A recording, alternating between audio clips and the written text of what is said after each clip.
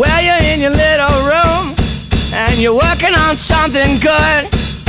But if it's really good, you're gonna need a bigger room.